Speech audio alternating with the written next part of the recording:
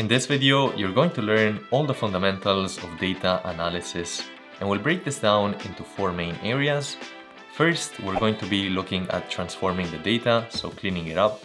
Secondly, we're gonna be looking at creating descriptive statistics to understand it better. Third, we're going to be looking at data analysis.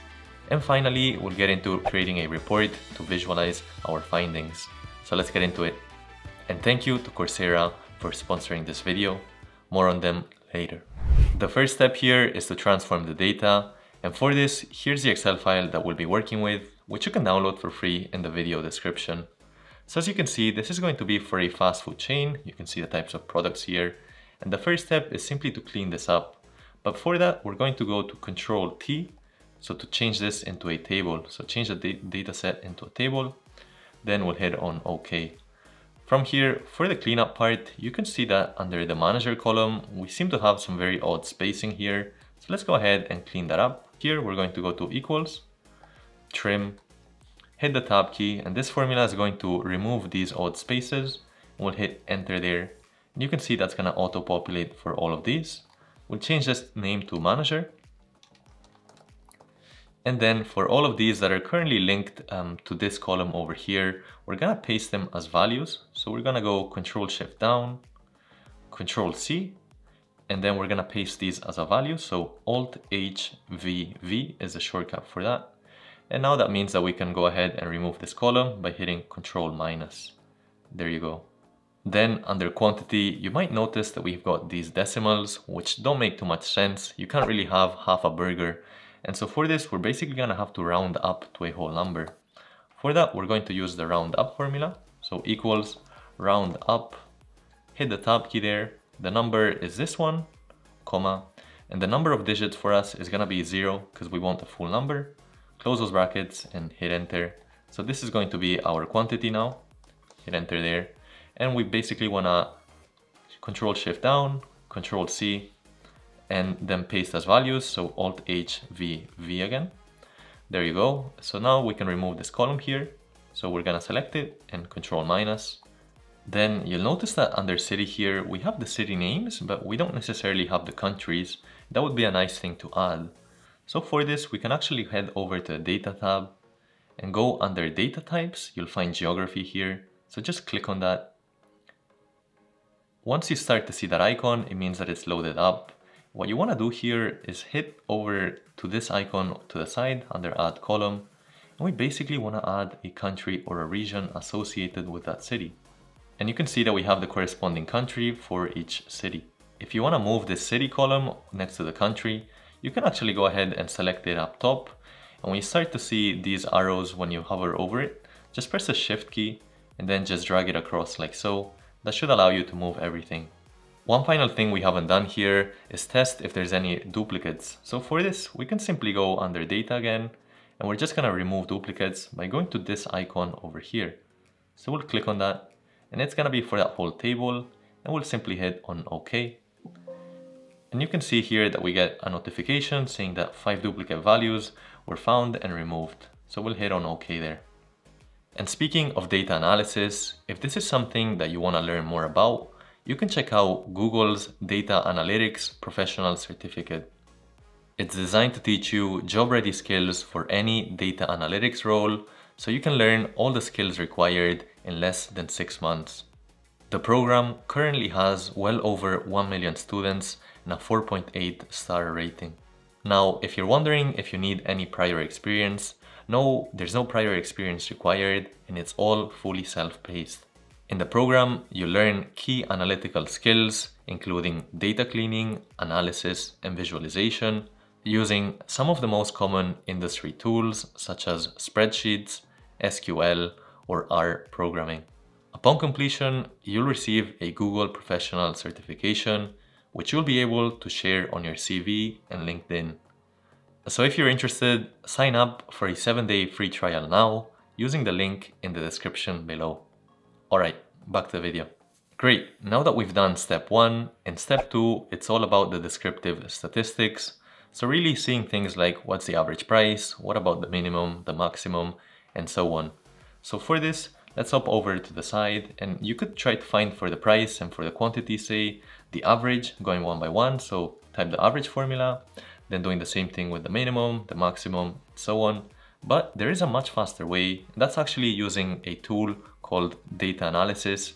For that, we're gonna have to activate it. It should be over here to the side under the data ribbon. If you don't have it like me, we can go ahead and activate it. So we'll head over to file, go over to the bottom where it says options. From here, we're gonna go into add-ins and we wanna click on the analysis ToolPak here and hit on go. From here, we wanna select analysis ToolPak, like I said, and we'll hit okay. Now you can see that we have this data analysis option under the data ribbon. So that's the one that we wanna select. From here, we want the descriptive statistics and we'll hit on OK there. And the input range is gonna be all of our prices. So we'll go Control Shift down there. And then we want it to be a summary statistics. And where do we want this? Let's say we want an output range, which is going to be up over here. So right next to the table, let's say we put it here to the side. There, we're just gonna hit on OK. And now you can see that for the price, which is what we've selected, we've gotten everything from the mean, the median, mode, minimum, maximum, sum, and a bunch of other useful information. Let me repeat that same process for the quantity.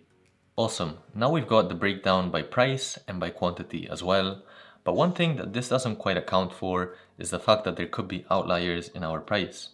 So for that, we can go ahead down over here.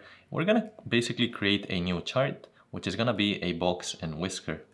So let's first select all of the prices. So control shift down and down over here, you're gonna find this icon. Click on that and we want a box and whisker. Basically this one over here. And don't worry if you can't interpret it, we'll look at it just in a second. Let me move that all the way up.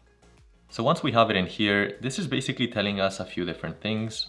So first, these top and bottom lines are telling us the maximums, so the max and the min, if you will.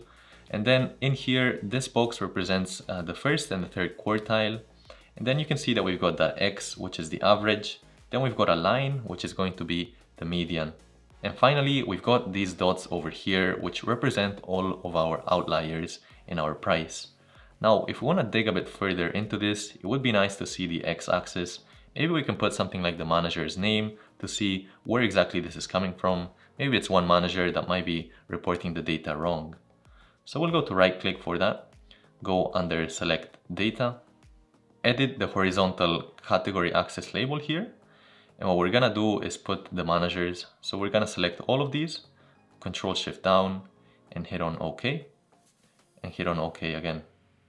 Now, if we go all the way back up, you can see what that breakdown looks like by manager. And it seems to be that all of these outliers are accumulated with Joao. Maybe we should have a word with him. Now moving on to step three, which is data analysis. So over here, you can see that we've got three different questions that we want to solve, which is what is our best selling product? What is our total revenue? And that's what's our revenue breakdown by payment method. So if we go back to the table here, you'll notice that we don't actually have a column for revenue. So that's one that we're gonna have to calculate simply by multiplying the price and the quantity. So we'll do that over here. Let me add an extra column there and let's call this something like uh, revenue.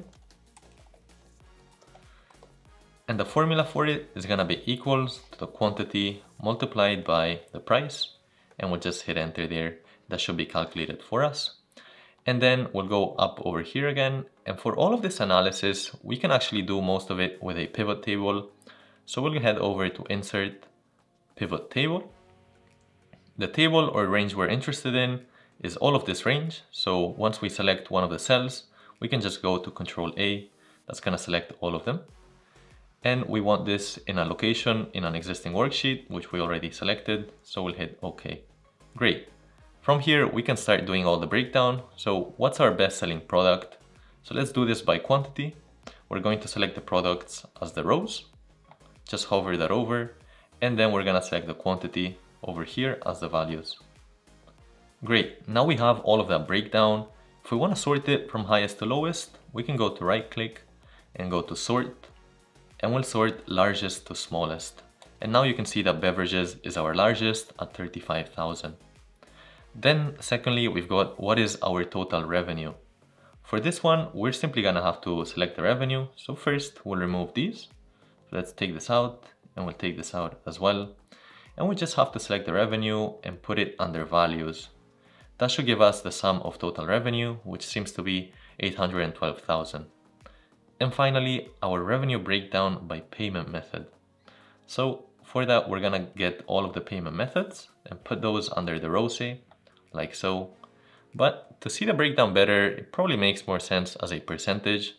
So what we can actually do is go to right click and from here go to summarize, show values as, sorry, and we're gonna show them as a percentage of the grand total. Now you can see that full breakdown and it seems like credit cards are the most dominant here. Now that you've seen how to do some of the data analysis, let me show you what a final report might look like. This one here is fairly simplified. So you can see that we've got this dropdown, which is using data validation to select the manager and everything dynamically changes. So if I select Joao, I'm able to see which country and city he's from using the XLOOKUP. And then just below that, using the SUMIFS, I'm able to derive his particular revenue for fries and the other products as well as his total revenue. And these data bars over here are done using the conditional formatting. If you're unsure how to do this type of formulas, you can check out this video over here or this link over here to take our Excel course. Hit that like and that subscribe and I'll catch you in the next one.